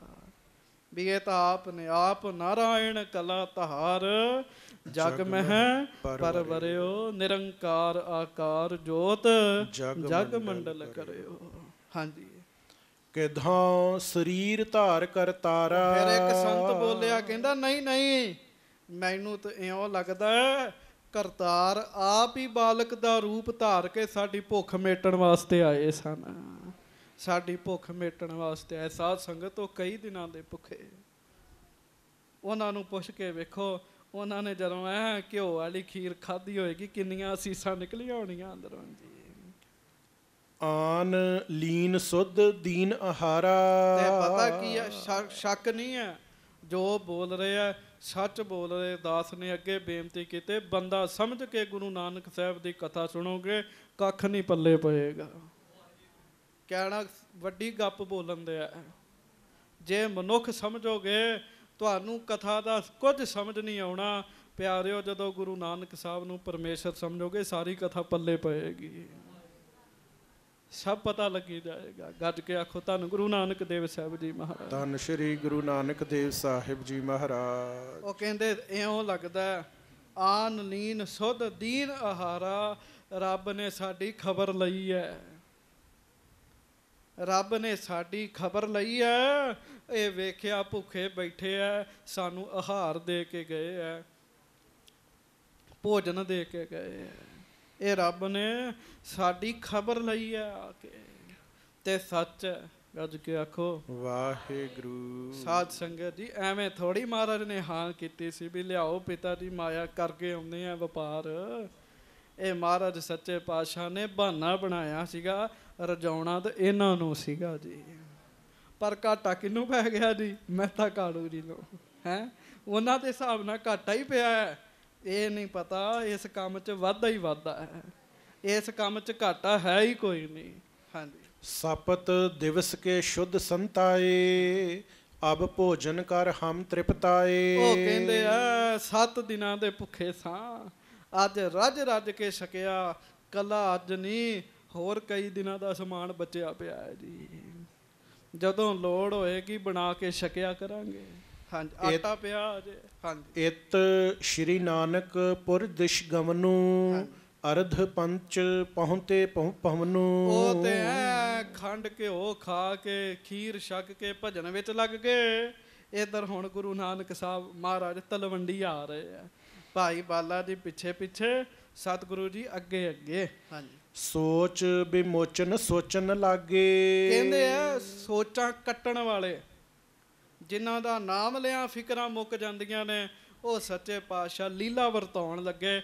ਜਾਣ ਬੁੱਝ ਕੇ ਮਹਾਰਾਜ ਟੈਨਸ਼ਨ 'ਚ ਹੋ ਗਏ ਸੋਚਣ ਲੱਗ ਪਏ। ਹਾਂਜੀ। ਹਟ ਕਤ ਚਿਤ ਪਗ ਪਰਹਿ ਨ ਆਗੇ। ਮਹਾਰਾਜ ਸੱਚੇ ਪਾਤਸ਼ਾਹ ਕਹਿੰਦੇ ਬਾਲਿਆ ਪਿੰਡ ਵੱਲ ਪੈਰ ਧਰਨ ਨੂੰ ਜੀ ਨਹੀਂ ਕਰਦਾ। ਗੱਜ ਕੇ ਆਖੋ ਵਾਹਿਗੁਰੂ। ਜੀ ਨਹੀਂ ਕਰਦਾ ਪਿੰਡ ਜਾਈਏ ਹੁਣ। ਹਾਂਜੀ। ਚਿੰਤਾ ਤੁਰ ਸੇ ਹਵੈ ਗੁਣ ਖਾਨੀ। ਬੋਲੇ ਮੁਝ ਸੋ ਅਸਬਿਦ ਬਾਨੀ ਭਾਈ ਬਾਲਾ ਜੀ ਕਹਿੰਦੇ ਮਹਾਰਾਜ ਗੁਰੂ ਅੰਗਦ ਸਾਹਿਬ ਮੈਂ ਨਾਲ ਸਾਂ। ਮੈਨੂੰ ਗੁਰੂ ਨਾਨਕ ਸਾਹਿਬ ਕਹਿਣ ਲੱਗੇ ਬਾਲਿਆ ਪਿੰਡ ਜਾਣ ਨੂੰ ਜੀ ਨਹੀਂ ਉਹ ਕਰਦਾ। ਹਾਂਜੀ। ਇਹ ਕੀਨੋ ਕਿਆ ਹਮਨੇ ਹੈ ਕਾਮਾ। ਗੱਜ ਕੇ ਆਖੋ? ਮਟਾਉਣੀ ਸੀ ਭੁੱਖ ਉਹਨਾਂ ਦੀ। ਸਭ ਕੁਝ ਆਪ ਕੀਤਾ ਆਪ ਨਾਰਾਇਣ ਨੇ। ਪਰ ਮਹਾਰਾਜ ਕਹਿੰਦੇ ਆਹੀ ਕੀ ਕਰਤਾ ਕਹਿੰਦੇ? ਇਹ ਕਿਹੜਾ ਕੰਮ ਕਰ ਬੈਠੇ ਅਸੀਂ? ਹਾਂਜੀ। ਉੱਤਰ ਕੋ ਦੈ ਹੈ ਚਲ ਧਾਮਾ। ਘਰ ਜਾ ਕੇ ਬਾਪੂ ਨੂੰ ਕੀ ਉੱਤਰ ਦੇਣਾ? ਪਿਤਾ ਜੀ ਨੂੰ ਕੀ ਜਵਾਬ ਦੇਣਾ? ਜਦੋਂ ਉਹਨਾਂ ਕਹਿਣਾ ਵੀ ਲਿਆਓ ਕਿੰਨੇ ਕਮਾ ਕੇ ਲਿਆਏ ਹੋ? ਤੇ ਕਮਾ ਕੇ ਕੀ ਲਿਆਉਣੇ? ਤੇ ਪਹਿਲੇ ਵੀ ਦੇ ਆਏ ਆ ਸਾਰੇ। ਮੂਲ ਵੀ ਨਹੀਂ ਹੁਣ ਤੇ ਕੋਲ ਹੈਗਾ। ਘਰ ਜਾਣ ਨੂੰ ਬੜਾ ਡਰ ਲੱਗ ਰਿਹਾ। ਹੈ ਹਾਂਜੀ। ਪਿਤ ਕੋ ਅਧਿਕ ਕ੍ਰੋਧ ਉਪਜੈ ਹੈ ਆਪਣੇ ਆਪਣੇ ਪਿਤਾ ਦਾ ਸੁਭਾਅ ਪਤਾ ਹੁੰਦਾ। ਮਹਾਰਾਜ 12 ਕੁ ਸਾਲਾਂ ਦੀ ਉਮਰ ਸਤਿਗੁਰੂ ਕਹਿੰਦੇ ਬਾਲਿਆ ਪਿਤਾ ਜੀ ਨੂੰ ਜਦੋਂ ਪਤਾ ਲੱਗਾ ਬੜਾ ਗੁੱਸਾ ਚੜਨਾ ਹੈ ਉਹਨਾਂ ਨੂੰ। ਬੜਾ ਕ੍ਰੋਧ ਆਉਣਾ ਹੈ। ਹਾਂਜੀ। ਮੁਝ ਤੁਝ ਸੋ ਦੇ ਗਾਰ ਲਰੈ ਹੈ ਮਹਾਰਾਜ ਨਾ ਬਾਲਾ ਜੀ ਨੂੰ ਚੈੱਕ ਕਰਨ ਵਾਸਤੇ। ਭਾਈ ਬਾਲਾ ਜੀ ਕਹਿੰਦੇ ਮਹਾਰਾਜ ਮੈਨੂੰ ਵੀ ਚੈੱਕ ਕਰਦੇ ਆ ਮੈਨੂੰ ਵੀ ਜਾਂਚਦੇ ਆ। ਮੈਨੂੰ ਕਹਿੰਦੇ ਆ ਮੈਨੂੰ ਵੀ ਝਿੜਕਾਂ ਪੈਣੀਆਂ ਤੇ ਤੈਨੂੰ ਵੀ ਪੈਣੀਆਂ। ਤੇ ਭਾਈ ਬਾਲਾ ਜੀ ਕਹਿੰਦੇ ਮੈਂ ਅੱਗੋਂ ਇੰਜ ਆਖਿਆ ਫਿਰ ਮਹਾਰਾਜ ਨੂੰ। ਹਾਂਜੀ। ਮੈਂ ਭਾਖਿਓ ਕੁਛ ਦੋਸ਼ ਨਾ ਮੇਰੋ। ਕਹਿੰਦੇ ਮੈਂ ਇੰਜ ਹੱਥ ਮਾਰਤਾ ਮਹਾਰਾਜ ਨੂੰ। ਗੱਲ ਕੇ ਆਖੋ। ਵਾਹਿਗੁਰੂ ਇਹ ਮੇਰਾ ਕੀ ਕਸੂਰ ਹੈ? ਮੈਂ ਕਿਹਾ ਸੀਗਾ ਵੀ ਮਾਇਆ ਦਿਓ ਸੰਤਾਂ ਨੂੰ ਭੋਜਨ ਛਕਾ ਦਿਓ। ਮੈਂ ਤੇ ਰੋਕਿਆ ਸੀਗਾ ਤੁਹਾਨੂੰ ਮੈਂ ਨਹੀਂ ਗਾਲਾਂ ਲੈਣੀਆਂ। ਕੱਸ ਕੇ ਆਖੋ ਵਾਹਿਗੁਰੂ ਕਿਉਂ ਆ ਮਹਾਰਾਜ ਸੱਚੇ ਪਾਤਸ਼ਾਹ ਕਹਿੰਦੇ ਆ ਨਾ ਮਹਾਰਾਜ ਕਹਿੰਦੇ ਆ ਮੁਝ ਤੁਝ ਮੁਝ ਤੁਝ ਸੋ ਦੇ ਗਾਰ ਲਰੈ ਹੈ। ਗਾਲਾਂ ਕੱਢ ਕੇ ਲੜਨਗੇ ਹੈ ਪਾਪ ਬੋਲਣਗੇ। ਤੇ ਭਾਈ ਬਾਲਾ ਜੀ ਕਹਿੰਦੇ ਨਾ ਨਾ ਨਾ ਮੈਂ ਨਹੀਂ ਤੁਹਾਡੇ ਨਾਲ ਘਰ ਜਾਣਾ ਮੈਂ ਆਪਣੇ ਘਰ ਚੱਲਾਂ। ਮੈਂ ਤੁਹਾਡੇ ਨਾਲ ਨਹੀਂ ਲੜਨਾ ਮੈਂ ਪਹਿਲਾਂ ਹੀ ਤੁਹਾਨੂੰ ਕਹਿ ਦਿੱਤਾ ਸੀਗਾ। ਹਾਂਜੀ। ਮੈਂ ਭਾਖਿਓ ਕੁਛ ਦੋਸ਼ ਨਾ ਮੇਰੋ। ਮੇਰਾ ਕੀ ਕਸੂਰ ਹੈ ਵਿੱਚ ਕਹਿੰਦੇ? ਮੈਂ ਤੁਹਾਨੂੰ ਥੋੜੀ ਆਖਿਆ ਸੀਗਾ। ਹਾਂਜੀ। ਤੁਮ ਕੋ ਬਰਜ ਰਹਿਓ ਬਹੁ ਤੇਰੋ ਮੈਂ ਤੇ ਰੋਕਿਆ ਸੀਗਾ ਵੀ ਮਾਇਆ ਇਹਨਾਂ ਨੂੰ ਮੱਥਾ ਟੇਕ ਦੇਣ ਲੱਗੇ ਉਹ ਇਹ ਵਪਾਰ ਕਰਨਾ ਅਸੀਂ। ਗੱਜ ਕੇ ਆਖੋ। ਵਾਹਿਗੁਰੂ। ਤਾਂ ਉਦੋਂ ਤੁਸੀਂ ਕੀ ਕਹਿੰਦੇ ਸੀਗੇ? ਵੀ ਇਹਦੇ ਤੋਂ ਭਲਾ ਵਪਾਰ ਹੀ ਕੋਈ ਨਹੀਂ ਹੈਗਾ। ਹਾਂਜੀ। ਆਪ ਜਾਣ ਕੈ ਕੀਜ ਕੁਕਾਜੂ। ਇਹ ਹੁਣ ਜਿਹੜਾ ਕੁਕਾਜ ਹੋ ਗਿਆ ਤੁਸੀਂ ਕੀਤਾ ਮੇਰਾ ਕੋਈ ਕਸੂਰ ਨਹੀਂ ਹੈ ਚਿੱਤ ਕਿਉ ਚਿੰਤ ਧਰੀ ਤੁਮ ਆਜੂ। ਹੁਣ ਕਾਦੀ ਚਿੰਤਾ? ਹੁਣ ਤੇ ਦੇ ਆਏ ਆ ਗੱਜ ਕੇ ਆਖੋ। ਵਾਹਿਗੁਰੂ ਹੁਣ ਤੇ 20 ਰੁਪਏ ਲੱਗੇ ਲੇਖੇ ਹੁਣ ਕਾਦੀ ਚਿੰਤਾ ਕਰਦੇ ਹੋ? ਹਾਂਜੀ। ਅਬ ਜਿਮ ਹੋਏ ਸਹ ਸੋ ਰੀਤੀ। ਤੇ ਇੱਕ ਗੱਲ ਹੈ ਮੈਂ ਤੁਹਾਡੇ ਨਾਲ ਘਰ ਨਹੀਂ ਜਾਣਾ। ਹੁਣ ਜੋ ਝਿੜਕ ਪਏਗੀ ਤੁਹਾਨੂੰ ਪਏਗੀ ਤੁਸੀਂ ਸਿਓ ਭਾਈ ਬਾਲਾ ਜੀ ਇਹ ਕਹਿੰਦੇ ਬੈਰਾਗ ਵਿੱਚ ਆ ਜਾਂਦੇ ਮਹਾਰਾਜ ਮੈਂ ਬੱਚਾ ਸਾਂ ਉਦੋਂ ਮੈਂ ਸਮਝਿਆ ਨਹੀਂ ਗੱਲ ਕਹਿੰਦੇ। ਉਦੋਂ ਮੈਂ ਮਹਾਰਾਜ ਨਾਲ ਇਸ ਤਰ੍ਹਾਂ ਬੋਲਦਾ ਸਾਂ। ਬੱਚੇ ਆਪਸ ਚ ਮਿਲ ਕੇ ਫਿਰ ਕਰਦੇ ਹੀ ਆ ਗੱਲਾਂ ਜੀ। ਹਾਂਜੀ। ਸੁਧੀ ਹੋਏ ਅਥਵਾ ਵਿਪਰੀਤੀ। ਹੁਣ ਭਾਵੇਂ ਸਿੱਧੀ ਪਵੇ ਤੇ ਭਾਵੇਂ ਪੁੱਠੀ ਚੱਲਣੀ ਤੇ ਤੁਹਾਨੂੰ ਹੀ ਪਏਗੀ। ਹਾਂਜੀ। ਮੁਝ ਕੋ ਚਿੰਤ ਨਾ ਏਕ ਵਿਆਪੇ ਮੈਨੂੰ ਕਾਦੀ ਚਿੰਤਾ ਹੈ? ਮੈਂ ਸੁਰਖਰੂ ਹਾਂ ਮੈਂ ਤੁਹਾਨੂੰ ਰੋਕਿਆ ਸੀ। ਹਾਂਜੀ। ਧਨ ਤੁਮਰਾ ਖਰਚਿਓ ਤੁਮ ਆਪੇ। ਪਰ ਮੈਂ ਕਿੰਨਾ ਕੁ ਰੋਕਦਾ? ਮਾਇਆ ਤੇ ਤੁਹਾਡੀ ਸੀ ਤੇ ਤੁਸੀਂ ਆਪੇ ਹੀ ਖਰਚੀ ਹੈ ਹੁਣ ਮੈਨੂੰ ਕਿਉਂ ਗਾਲਾਂ 'ਚ ਹਿੱਸੇਦਾਰ ਬਣਾਉਂਦੇ ਹੋ? ਹਾਂਜੀ। ਬਾਹਰ ਨਾ ਮੈਂ ਤੁਮ ਤੇ ਕੁਛ ਸਿਆਣਾ। ਬਾਕੀ ਮੈਂ ਕਿਹੜਾ ਤੁਹਾਡੇ ਨਾਲੋਂ ਵੱਧ ਸਿਆਣਾ ਮੈਂ? ਜੋ ਤੁਸੀਂ ਕਿਹਾ ਮੈਂ ਉਹ ਕਰਨਾ ਸੀਗਾ। ਹਾਂਜੀ। ਸਭ ਜਾਣਹਿਗੇ ਬੈਸ ਸਮਾਨਾ। ਸਾਰਿਆਂ ਨੂੰ ਪਤਾ ਉਮਰ ਦਾ ਬਹੁਤਾ ਫ਼ਰਕ ਨਹੀਂ ਹੈਗਾ। ਹਾਂਜੀ। ਪੁੰਨ ਮੈਂ ਹੋ ਆਇਸ ਅਨੁਸਾਰੀ ਤਬ ਪਿਤ ਭੇਜਿਓ ਦਾਸ ਵਿਚਾਰੀ। ਬਾਕੀ ਮੈਂ ਤੇ ਨੌਕਰ ਆ। ਨੌਕਰ ਬਣ ਕੇ ਆਇਆ ਸਾਂ ਤੁਹਾਡੇ ਨਾਲ। ਤੁਹਾਡੇ ਪਿਤਾ ਨੇ ਤੁਹਾਨੂੰ ਮਾਲਕ ਤੇ ਮੈਨੂੰ ਨੌਕਰ ਬਣਾ ਕੇ ਭੇਜਿਆ ਸੀ। ਤੇ ਨੌਕਰ ਨੇ ਥੋੜੀ ਮਾਲਕ ਨੂੰ ਕਿਸੇ ਕੰਮ ਤੋਂ ਰੋਕਣਾ ਹੁੰਦਾ ਹੈ। ਮੈਂ ਤੇ ਆਪਣਾ ਕੰਮ ਕੀਤਾ ਤੁਸੀਂ ਸੌਗੇ ਹੁਣ।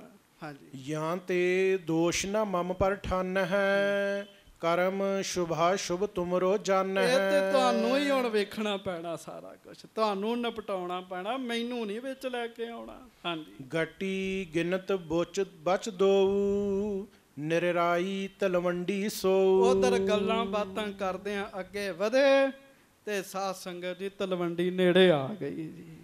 ਮਹਾਰਾਜ ਤਲਵੰਡੀ ਲਾਗੇ ਪਹੁੰਚ ਗਏ। ਕਈ ਪਿੰਡ ਰਸਤੇ 'ਚ ਪਾਰ ਕਰਕੇ ਪਹੁੰਚੇ। ਹਾਂਜੀ। ਹਾਂ ਤੋਂ ਚਲ ਆਇਓ ਨਿਜ ਸਦਨਾ ਪੁਰ ਨਾ ਪਰਵੇਸ਼ੇ ਪੰਕਜ ਬਦਨਾ। ਭਾਈ ਬਾਲਾ ਜੀ ਗੁਰੂ ਅੰਗਦ ਸਾਹਿਬ ਨੂੰ ਕਹਿੰਦੇ ਮਹਾਰਾਜ ਸੱਚ ਤੇ ਹੈ ਸਤਿਗੁਰਾਂ ਦੇ ਪਿਤਾ ਤੋਂ ਡਰ ਤੇ ਮੈਂ ਵੀ ਗਿਆ ਹੀ ਸਾਂ। ਵੀ ਪਤਾ ਨਹੀਂ ਉਹਨਾਂ ਨੇ ਹੁਣ ਕੀ ਕਹਿ ਜਾਣਾ ਸਖਤ ਸੁਭਾਅ ਤੋਂ ਸਾਰੇ ਡਰਦੇ ਆ। ਵੀ ਪਤਾ ਨਹੀਂ ਹੁਣ ਕੀ ਆਪਾਂ ਦੇ ਉੱਤੇ ਕਿ- ਉਹਨਾਂ ਨੇ ਕਹਿ ਦੇਣਾ ਆਪਾਂ ਨੂੰ ਤੇ ਮਹਾਰਾਜ ਮੈਂ ਤੇ ਤਲਵੰਡੀ ਚ ਵੜਦਿਆਂ ਸਾਰੀ ਆਪਣੇ ਘਰ ਜਾ ਕੇ ਲੁਕ ਗਿਆ ਸਾਂ। ਮੈਂ ਨਹੀਂ ਕਿਸੇ ਨੂੰ ਖਬਰ ਦਿੱਤੀ ਪਰ ਲੋਕਾਂ ਮੈਨੂੰ ਘਰ ਵੜਦਿਆਂ ਨੂੰ ਵੇਖ ਲਿਆ। ਤੇ ਸਤਿਗੁਰੂ ਸਤਿਗੁਰੂ ਤਲਵੰਡੀ ਦੇ ਅੰਦਰ ਆਏ ਹੀ ਨਹੀਂ ਉਹ ਬਾਹਰ ਹੀ ਬਹਿ ਗਏ। ਹਾਂਜੀ। ਏਕ ਤਾਲ ਜਲਹੀਨ ਜੋ ਦੂਰੀ। ਇੱਕ ਪਾਣੀ ਤੋਂ ਹੀਣਾ ਭਾਵ ਸੁੱਕਾ ਤਲਾ ਸੀਗਾ। ਹਾਂਜੀ। ਤਹ ਬੈਸੇ ਬੈਸਕ ਨਿਜਰੂਰੀ। ਤੇ ਮਹਾਰਾਜ ਉਸ ਸੁੱਕੇ ਤਲਾਬ ਦੇ ਉੱਪਰ ਬੈਠ ਗਏ। ਕਿਸੇ ਨਾਲ ਗੱਲ ਨਹੀਂ ਕੀਤੀ। ਹੁਣ ਬੈਠੇ ਤੇ ਆਏ ਜਿਵੇਂ ਪਤਾ ਨਹੀਂ ਕੀ ਕਰ ਆਏ ਹੁਣ। ਪਰ ਪਿਆਰਿਓ, ਇਹ ਹੁਣ ਸਾਡੇ ਵਾਸਤੇ ਵੇਖਿਓ ਮਹਾਰਾਜ ਕੀ ਸਹਿੰਦੇ ਆ ਜੀ। ਸਾਨੂੰ ਲੰਗਰ ਛਕਾਉਣੇ ਸਾਡੇ ਵਾਸਤੇ ਲੰਗਰਾਂ ਦੇ ਪ੍ਰਬੰਧ ਕਰ ਕੀਤੇ ਮਹਾਰਾਜ ਨੇ। ਹਾਂਜੀ। ਸੁਨਿਓ ਜਬ ਹੈ ਆਇਓ ਘਰ ਬਾਲਾ। ਉਹ ਕਿਸੇ ਬੰਦੇ ਨੇ ਮਹਿਤਾ ਕਾਲੂ ਜੀ ਨੂੰ ਦੱਸ ਦਿੱਤਾ ਮਹਾਰਾਜ ਵੀ ਬਾਲਾ ਘਰ ਆ ਗਿਆ। ਤੇ ਸਤਿਗੁਰਾਂ ਦੇ ਪਿਤਾ ਨੂੰ ਲੱਗ ਗਿਆ ਪਤਾ ਵੀ ਮੈਂ ਤੇ ਘਰ ਆ ਗਿਆ। ਹਾਂਜੀ। ਭਇਓ ਹਾਉਲ ਕਾਲੂ ਤਤਕਾਲਾ। ਉਹ ਅਸੀਂ ਉਸੇ ਦਿਨ ਹੀ ਵਾਪਸ ਆ ਗਏ। ਉਸੇ ਦਿਨ ਹੀ ਵਾਪਸ ਆ ਗਏ। ਤੇ ਮਹਾਰਾਜ ਜਦੋਂ ਸਤਿਗੁਰਾਂ ਦੇ ਪਿਤਾ ਨੂੰ ਲੱਗਾ ਨਾ ਪਤਾ ਵੀ ਬਾਲਾ ਆ ਗਿਆ ਘਰ ਤੇ ਮਹਾਰਾਜ ਦੇ ਪਿਤਾ ਤੇ ਘਬਰਾ ਗਏ ਵੀ ਪੈਸੇ ਗਵਾ ਹੀ ਨਾ ਆਏ ਹੁਣ। ਬੱਚੇ ਨੇ ਸੁੱਟ ਪੈਂਦੇ ਆ। ਹਾਂਜੀ। ਦਾਸ ਪਠਾਏ ਮੁਝੈ ਬੁਲਵਾਇਆ। ਪੈਸੇ ਕਿਹੜੇ ਥੋੜੇ ਸਨ?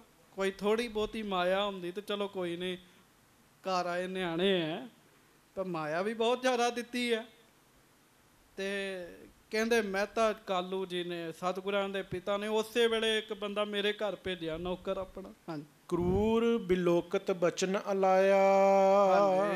ਕਹਾਂ ਕਾਰਖਿਕ ਨਾਨਕ ਕਹਿਵਾ। ਮੈਂ ਕਿਹਾ ਸੀ ਕਹਿ ਦਿਓ ਬਾਲਾ ਘਰ ਨਹੀਂ ਹੈਗਾ।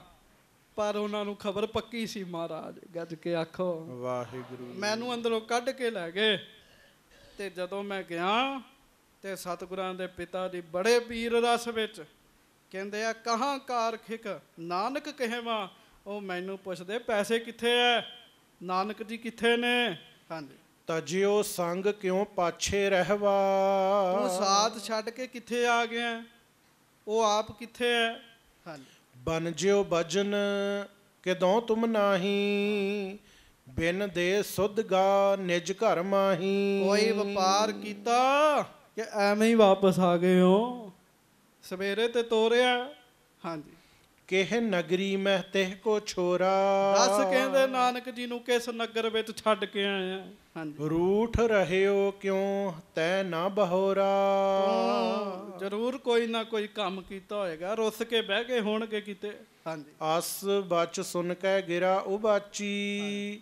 ਜਸ ਬਿਦ ਥਿਤੀ ਬਤਾਈ ਸਾਚੀ। ਤੇ ਭਾਈ ਬਾਲਾ ਜੀ ਕਹਿੰਦੇ ਮਹਾਰਾਜ ਮੈਂ ਫਿਰ ਸਤਿਗੁਰਾਂ ਦੇ ਪਿਤਾ ਤੋਂ ਡਰਦਿਆਂ ਡਰਦਿਆਂ ਜੋ ਅੱਜ ਕੀਤਾ ਹੀ ਨਾ ਮਹਾਰਾਜ ਨੇ ਉਹ ਸਾਰੀ ਗੱਲ ਫਿਰ ਸਤਿਗੁਰਾਂ ਦੇ ਪਿਤਾ ਜੀ ਨੂੰ ਦੱਸ ਦਿੱਤੀ ਜੀ। ਵੀ ਤੁਹਾਡੇ 20 ਰੁਪਈਆ ਇੰਨਿਆਂ ਦਾ ਆਟਾ ਲਿਆਂਦਾ ਇੰਨਿਆਂ ਦੀ ਖੰਡ ਲਿਆਂਦੀ ਤੇ ਦੇ ਦਿੱਤੇ ਜੇ ਉੱਥੇ। ਕਰ ਆਏ ਜੇ ਵਪਾਰ ਆਪਾਂ। ਹਾਂਜੀ। ਇੱਕ ਕਾਨਨ ਮੈਂ ਹੁਤੇ ਫਕੀਰਾ ਚੱਲੇ ਜਾਤ ਬੈਸੇ ਤਨ ਤੀਰਾ। ਉਹੋ ਹੀ ਕਹਿੰਦੇ ਹੋਣਾ ਸੀ ਜੋ ਹਰ ਵਾਰ ਹੁੰਦਾ ਸੀਗਾ। ਤੁਹਾਡੇ ਪੁੱਤਰ ਨੂੰ ਫਕੀਰਾਂ ਨਾਲ ਪਿਆਰ ਹੈ ਜੰਗਲ ਵਿੱਚ ਜਦੋਂ ਤੁਰੇ ਜਾ ਰਹੇ ਸਨ ਇੱਕ ਨਹੀਂ ਬੜੇ ਫਕੀਰ ਬੈਠੇ ਸਨ ਉੱਥੇ।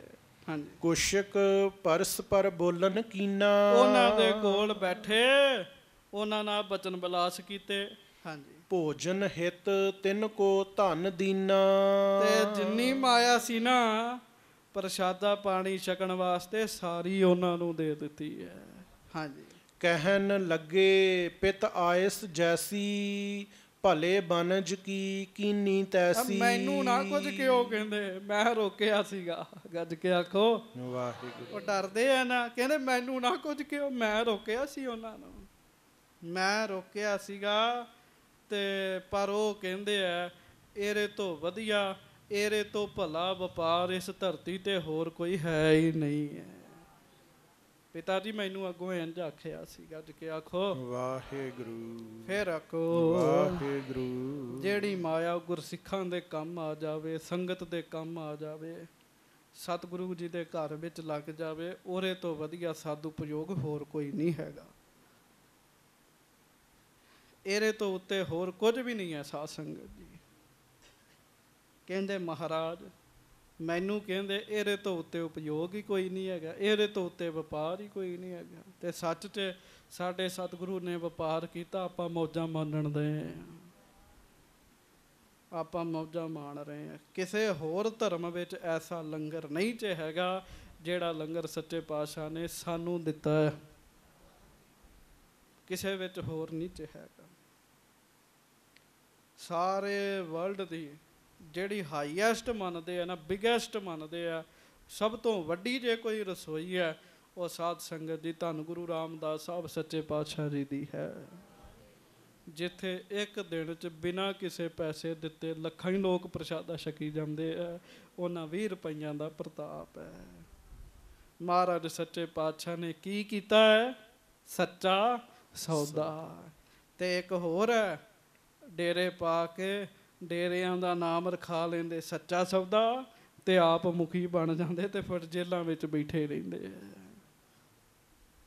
ਉਹਨਾਂ ਨੂੰ ਪੁੱਛੋ ਵੀ ਤੁਹਾਡੇ ਕੋ ਹੈ, ਤੁਹਾਡੀ ਇੰਨੀ ਔਕਾਤ ਹੈਗੀ ਹੈ ਉਹ ਤੇ ਲੋਕਾਂ ਕੋ ਲੁਟੇਰੇ ਬਣ ਕੇ ਪੈਸੇ ਇਕੱਠੇ ਕੀਤੇ ਪਏ ਐ ਤੇ ਸਤਿਗੁਰੂ ਆਪਣੇ ਪਿਤਾ ਜੀ ਦੇ ਵੀ ਦਈ ਜਾਂਦੇ ਐ ਸੱਚੇ ਸੌਦੇ ਦੇ ਮਾਲਕ ਕੇਵਲ ਗੁਰੂ ਨਾਨਕ ਸਾਹਿਬ ਸੱਚੇ ਪਾਤਸ਼ਾਹ ਨੇ ਇਹ ਆਮ ਬੰਦੇ ਸੱਚੇ ਸੌਦਾ ਦਾ ਮਾਲਕ ਨਹੀਂ ਬਣ ਸਕਦੇ। ਬਲਕਿ ਆ ਪਿੱਛੇ ਜੇ ਜੋ ਹੋਇਆ, ਸੱਚਾ ਸੌਦਾ ਕਹਿਣ ਨੂੰ ਵੀ ਜੀ ਨਹੀਂ ਸੀ ਕਰਦਾ ਮੁਖੋਂ, ਤੇ ਸੌਦਾ ਸਾਧ ਕਹਿੰਦੇ ਸਨ ਸੌਦਾ ਸਾਧ ਨਾਮ ਪਾਇਆ ਗਿਆ ਸੀਗਾ। ਸੱਚਾ ਸੌਦਾ ਬੜਾ ਵੱਡਾ ਹੈ। ਸੱਚਾ ਸੌਦਾ ਕੀਤਾ ਵੀ ਗੁਰੂ ਨਾਨਕ ਨੇ ਹੈ, ਦੂਜਾ ਨਹੀਂ ਕੋਈ ਕਰ ਸਕਦਾ। ਦੂਜਾ ਕੋਈ ਕਿਵੇਂ ਕਰ ਸਕਦਾ ਹੈ? ਵੇਖੋ ਆਨੰਦਪੁਰ ਸਾਹਿਬ, ਹੋਲੇ ਮਹੱਲੇ ਦਾ ਜਿਹੜਾ ਲੰਗਰ ਹੈ, ਉਹ ਸਾਧ ਸੰਗਤ ਦੀ ਆਪਣੇ ਆਪ ਵਿੱਚ ਬੜੀ ਵੱਡੀ ਮਿਸਾਲ ਹੈ। ਹਰ ਪਿੰਡ 'ਚ ਉਤਸ਼ਾਹ ਹੈ। ਕਿਉਂ ਨਾ ਉਤਸ਼ਾਹ ਹੋਵੇ? ਗੁਰੂ ਕੇ ਸਿੱਖਾਂ ਨੂੰ ਲੰਗਰ ਛਕਾਉਣ ਦਾ ਉਤਸ਼ਾਹ ਕਿਉਂ ਨਾ ਹੋਵੇ? ਜੇ ਗੁਰੂ ਦੇ ਸਿੱਖਾਂ ਦੇ ਸਤਿਗੁਰੂ ਨੂੰ ਇੰਨਾ ਉਤਸ਼ਾਹ ਹੈ, ਤਾਂ ਸਿੱਖਾਂ ਨੂੰ ਕਿਉਂ ਨਹੀਂ ਹੋਏਗਾ? ਵੇ ਹੁਣ ਸੋਚਦੇ ਵੀ ਇਹ ਕੀ ਕਰ ਆਏ? ਸਾਰੇ ਹੀ ਦੇ ਬੈਠੇ ਉਹਨਾਂ ਨੂੰ। ਹੁਣ ਬਾਲੇ ਨਾਲ ਗੱਲਾਂ ਕਰਦੇ ਆ। ਉਦੋਂ ਨਹੀਂ ਵਿਚਾਰ ਕੀਤੀ। ਸਿੱਖਾਂ ਵਿੱਚ ਸੁਭਾਅ ਲੰਗਰ ਛਕਾਉਣ ਲੱਗਿਆ ਬਿਲਕੁਲ ਪਰਵਾਹ ਨਹੀਂ ਕਰਦੇ। ਕਰਨੀ ਵੀ ਨਹੀਂ ਚਾਹੀਦੀ। ਫਿਰ ਜਿੱਥੇ ਗੁਰੂ ਦੇ ਆਸਰੇ ਲੰਗਰ ਚੱਲਦਾ ਉੱਥੇ ਗੁਰੂ ਦੀ ਕਿਰਪਾ ਵਰਤਦੀ ਹੈ। ਨਹੀਂ ਤੇ ਬੰਦੇ ਇਹਦੇ ਤੋਂ ਹੀ ਦੁਖੀ ਸੁਖੀ ਹੁੰਦੇ ਰਹਿੰਦੇ ਆ। ਉਹ ਤੁਸੀਂ ਸੁਣਿਆ ਸੀ ਨਾ, ਢਿੱਲਵੀਂ ਗੁਰੂ ਤੇਗ ਬਹਾਦਰ ਸਾਹਿਬ ਨੇ ਲੰਗਰ ਲਾਇਆ। ਕਿ ਪੂੜੀਆਂ, ਛੋਲੇ ਕੜਾਹ ਕਚੌਰੀਆਂ ਸਾਰਾ ਕੁਝ ਬਣਾਇਆ। ਮਹਾਰਾਜ ਸਿੱਖਾਂ ਨੂੰ ਕਹਿੰਦੇ, ਉਹ ਕੁਝ ਬਣਾਓ ਜਿਹੜਾ ਪਿੰਡ ਵਾਲਿਆਂ ਵੇਖਿਆ ਵੀ ਨਾ ਹੋਵੇ ਕਦੀ ਜੀ। ਇਹੋ ਜਿਹਾ ਲੰਗਰ ਸੱਚੇ ਪਾਤਸ਼ਾਹ ਨੇ ਛਕਾਇਆ ਜੀ। ਲੰਗਰ ਵਿੱਚ ਆਪਣਾ ਇੱਕ ਨੰਬਰ ਹੈ। ਲੰਗਰ ਵਿੱਚ। ਤੇ ਹੋਣਾ ਵੀ ਚਾਹੀਦਾ। ਕਿਸੇ ਨਾ ਕਿਸੇ ਪਾਸੇ ਤੇ ਵਿਲੱਖਣਤਾ ਹੋਵੇ। ਹੁਣ ਤੇ ਇਹੋ ਹੀ ਹੈ, ਪੈਸਾ ਬੜਾ ਵੇਸਟ ਕਰ ਦਿੰਦੇ ਆ। ਕਹਿ ਦਿੰਦੇ ਆ ਜੇ ਵੀ ਪੈਸਾ ਵੇਸਟ ਹੋ ਜਾਂਦਾ ਹੈ।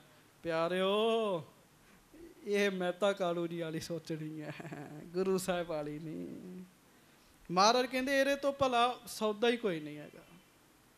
ਇਹਦੇ ਤੋਂ ਭਲਾ ਸੌਦਾ ਹੀ ਨਹੀਂ, ਜਿੱਥੇ ਗੁਰੂ ਕੀ ਸੰਗਤ ਬੈਠੀ ਹੋਵੇ, ਬਾਣੀ ਪੜਨ ਵਾਲੀ ਬੈਠੀ ਸੰਗਤ ਹੋਵੇ, ਉਹਨਾਂ ਨੂੰ ਤੇ ਪਾਣੀ ਕੋਈ ਪਿਆ ਦੇ, ਉਹਦਾ ਵੀ ਬੜਾ ਵੱਡਾ ਹਿਸਾਬ ਕਿਤਾਬ ਬਣ ਜਾਂਦਾ ਹੈ ਬੜਾ ਪੁੰਨ ਹੈ ਹੋ ਮਹਾਰਾਜ, ਸੱਚੇ ਪਾਤਸ਼ਾਹ ਗਰੀਬ ਨਵਾਜ਼ ਜੀ ਨੇ ਕੀ ਕੀਤਾ? ਸੱਚਾ ਸੌਦਾ। ਹਾਂਜੀ। ਦੇ ਕਰ ਦਰਬ ਘਰਨ ਮੁਰ ਆਏ ਨਗਰ ਵਹਿਰ ਬੈਸੇ ਕਿਸ ਥਾਏ? ਬਾਲਾ ਜੀ ਕਹਿੰਦੇ ਮਹਾਰਾਜ ਮਾਇਆ ਦੇ ਕੇ ਰਸਦ ਦੇ ਕੇ ਘਰ ਮੋੜ ਆਏ ਅਸੀਂ। ਤੇ ਹੁਣ ਬਾਹਰ ਬੈਠੇ ਹੋਣਗੇ ਕਿਤੇ। ਹਾਂਜੀ। ਕ੍ਰੋਧ ਕਰਨ ਤੁਮ ਤੇ ਡਰ ਧਰ ਕੈ ਸਦਨ ਨ ਆਏ ਇਹ ਵਿਚਾਰ ਕੈ। ਮਹਾਰਾਜ ਮਹਾਰਾਜ ਸੱਚੇ ਪਾਤਸ਼ਾਹ ਦੇ ਪਿਤਾ ਜੀ ਨੂੰ ਭਾਈ ਬਾਲਾ ਜੀ ਕਹਿੰਦੇ ਆ ਕਹਿੰਦੇ ਆ ਪਿਤਾ ਜੀ ਤੁਹਾਡੇ ਤੋਂ ਡਰੇ ਬੜੇ ਹੋਏ ਸਨ। ਤਾਂ ਨਹੀਂ ਉਹ ਨਗਰ ਚ ਆਏ ਸੱਚਾ ਸੌਦਾ ਕਰਨਾ ਵੀ ਸੌਖਾ ਨਹੀਂ ਨਾ ਹੈਗਾ। ਹਾਂਜੀ। ਅਸ ਸੁਨ ਕਾਲੂ ਕ੍ਰੋਧ ਨ ਥੋਰਾ। ਇਹ ਸੁਣ ਕੇ ਬੜਾ ਵੀਰ ਰਸ ਆ ਗਿਆ ਪਿਤਾ ਜੀ ਨੂੰ। ਹਾਂਜੀ। ਪਰਸਤ ਘ੍ਰਿਤ ਜਿਉ ਪਾਵਕ ਜੋਰਾ। ਉਹਨਾਂ ਦਾ ਤੇ ਗੁੱਸਾ ਇੰਜ ਹੋ ਗਿਆ ਜਿਵੇਂ ਬਲਦੀ ਅੱਗ 'ਚ ਘਿਓ ਪੈ ਜਾਂਦਾ ਹੈ ਜੀ। ਉਹਨਾਂ ਨੂੰ ਬਹੁਤ ਕ੍ਰੋਧ ਹੋ ਗਿਆ। ਹਾਂਜੀ। ਕਹਾਂ ਕਿ ਮੁਝ ਕੋ ਦੇਹੋ ਬਤਾਈ। ਚੱਲੋ ਸੰਗ ਬੈਸਿਓ ਜਿਹ ਥਾਈ। ਕਹਿੰਦੇ ਚੱਲ ਦੱਸ ਮੈਨੂੰ ਕਿੱਥੇ ਆ ਉਹ? ਦੱਸ ਮੈਨੂੰ। ਹਾਂਜੀ। ਮੁਖ ਤੇ ਬੋਲਤ ਗਿਰਾ ਕਠੋਰਾ ਲੈ ਮੁਝ ਸੰਗ ਚੱਲਿਓ ਤਿਸ ਓਰਾ। ਤੇ ਮੁਖ ਤੋਂ ਕਠੋਰ ਬਚਨ ਬੋਲਣ ਦੇ ਆ। ਭਾਈ ਬਾਲਾ ਜੀ ਕਹਿੰਦੇ ਆ ਮੈਨੂੰ ਲੈ ਕੇ ਪਿਤਾ ਜੀ ਸਤਿਗੁਰੂ ਨੂੰ ਲੱਭਣ ਲੱਗ ਪਏ ਆ। ਮਹਾਰਾਜ, ਐ ਨੇਤਰ ਬੰਦ ਕਰਕੇ ਤਲਾਬ ਦੇ ਕੰਢੇ ਤੇ ਬੈਠੇ ਸੱਚਾ ਸੌਦਾ ਕਰਕੇ ਆਏ ਸੱਚੇ ਸੌਦੇ ਦੇ ਮਾਲਕ। ਸੋ ਇਹਦੇ ਤੋਂ ਅੱਗੇ ਜਿਹੜਾ ਪ੍ਰਸੰਗ ਹੈ ਕੱਲ ਨੂੰ ਸਰਵਣ ਕਰਾਂਗੇ। ਇਹ ਹੈ ਸੱਚਾ ਸੌਦਾ। ਸੱਚਾ ਸੌਦਾ ਹਰ ਨਾਮ ਹੈ, ਸੱਚਾ ਵਪਾਰਾ RAM ਇਹ ਸੱਚਾ ਵਪਾਰ ਧੰਨ ਗੁਰੂ ਨਾਨਕ ਸਾਹਿਬ ਸੱਚੇ ਪਾਤਸ਼ਾਹ ਨੇ ਕੀਤਾ। ਐਵੇਂ ਝੂਠੇ ਮੂਠੇ ਸੌਦੇ ਸਾਧ ਬੜੇ ਤੁਰੇ ਫਿਰਦੇ ਹੈ ਸੱਚਾ ਸੌਦਾ ਗੁਰੂ ਨਾਨਕ ਹੀ ਕਰ ਸਕਦੇ ਹੈ ਦੂਜਾ ਨਹੀਂ ਕੋਈ ਕਰ ਸਕਦਾ। ਮਹਾਰਾਜ ਸੱਚੇ ਪਾਤਸ਼ਾਹ ਕਿਰਪਾ ਕਰਨ, ਹੁਣ ਘਿਓ ਵਾਲੀ ਖੀਰ ਆਪ ਜੀ ਵਾਸਤੇ ਤਿਆਰ ਹੈ ਸਾਧੂਆਂ ਨੇ ਵੀ ਛਕੀ ਤੇ ਆਪਾਂ ਵੀ ਛਕਣੀ ਹੈ ਮਹਾਰਾਜ ਦੇ ਬੱਚੇ ਆ। ਤੇ ਪਿਤਾ ਜੀ ਨੂੰ ਕਹਿ ਹੀ ਸਕਦੇ ਵੀ ਉਹਨਾਂ ਨੂੰ ਖਵਾਤਾ ਵੀ ਸਾਨੂੰ ਕੀ ਹੋਇਆ? ਨੇ ਛਕਣੀ ਹੈ ਸੱਚੇ ਪਾਤਸ਼ਾਹ ਮਿਹਰ ਕਰਨ ਆਓ 2-4 ਮਿੰਟ ਗੁਰਮੰਤਰ ਦਾ ਜਾਪ ਕਰ ਲਈਏ। ਫਿਰ ਆਪਾਂ ਦਾਸ ਖਿਮਾ ਮੰਗੇਗਾ। ਸਾਰੀ ਸੰਗਤ ਪ੍ਰੇਮ ਨਾਲ ਕਹੋ ਜੀ, ਵਾਹਿਗੁਰੂ, ਜਪ ਵਾਹਿਗੁਰੂ।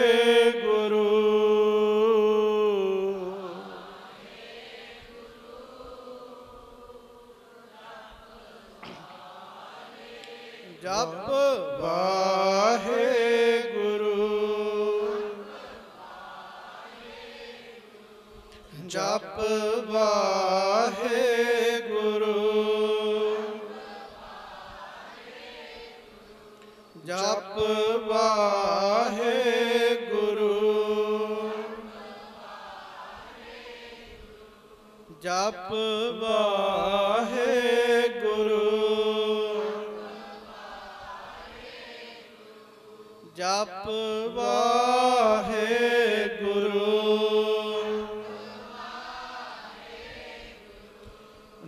ਜਪ ਵਾਹਿਗੁਰੂ ਵਾਹਿਗੁਰੂ ਵਾਹਿਗੁਰੂ ਵਾਹਿਗੁਰੂ ਵਾਹਿਗੁਰੂ ਵਾਹਿਗੁਰੂ ਵਾਹਿਗੁਰੂ ਵਾਹਿਗੁਰੂ ਵਾਹਿਗੁਰੂ ਵਾਹਿਗੁਰੂ ਵਾਹਿਗੁਰੂ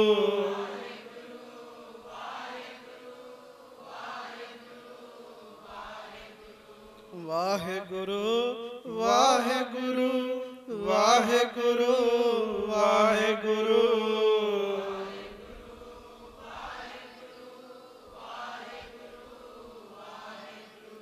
ਵਾਹਿਗੁਰੂ ਵਾਹਿਗੁਰੂ ਵਾਹਿਗੁਰੂ।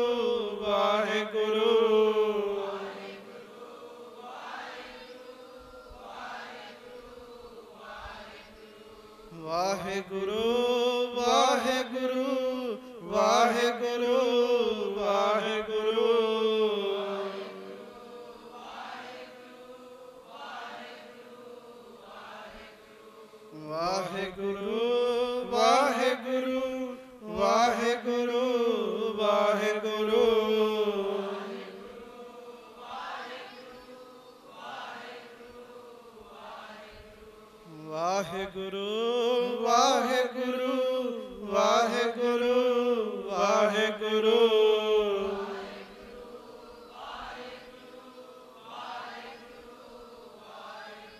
ਜਪ ਵਾਹਿਗੁਰੂ।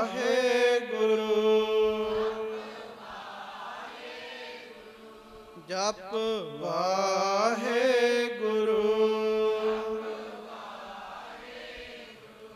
ਜਪ ਵਾਹਿਗੁਰੂ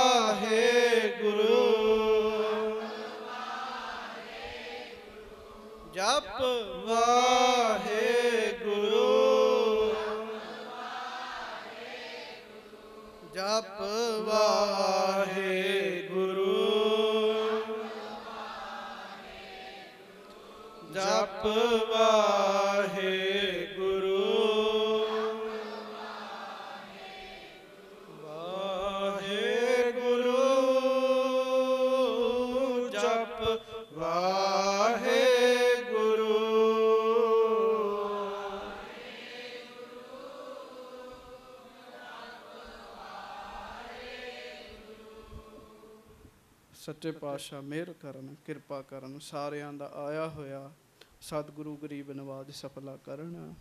ਹੋਈਆਂ ਬੇਅੰਤ ਪ੍ਰਕਾਰ ਦੀਆਂ ਭੁੱਲਾਂ ਚੁੱਕਾਂ ਦੀ ਆਪ ਸਾਰੀਆਂ ਸੰਗਤਾਂ ਖਿਮਾ ਬਖਸ਼ਿਓ। ਸਭ ਨੂੰ ਜੀ ਆਇਆਂ ਨੂੰ ਭਾਈ ਸੰਦੀਪ ਸਿੰਘ ਜੀ ਸਮੇਤ ਪਰਿਵਾਰ ਦੇ ਯੂਕੇ ਤੋਂ ਆਏ ਹੈ ਮਹਾਰਾਜ ਸੱਚੇ ਪਾਤਸ਼ਾਹ, ਹੋਰ ਰੰਗ ਲਾਉਣ, ਹੋਰ ਭਾਗ ਲਾਉਣ। ਹੋਈਆਂ ਭੁੱਲਾਂ ਚੁੱਕਾਂ ਦੀ ਖਿਮਾ ਬਖਸ਼ਿਸ਼ ਕਰਿਓ। ਦੋਵੇਂ ਹੱਥ ਜੋੜ ਕੇ ਗੱਜ ਕੇ ਫਤਿਹ ਬੁਲਾਓ ਜੀ। ਵਾਹਿਗੁਰੂ ਜੀ ਕਾ ਖਾਲਸਾ ਵਾਹਿਗੁਰੂ ਜੀ ਕੀ ਫਤਿਹ। ਸਕਲ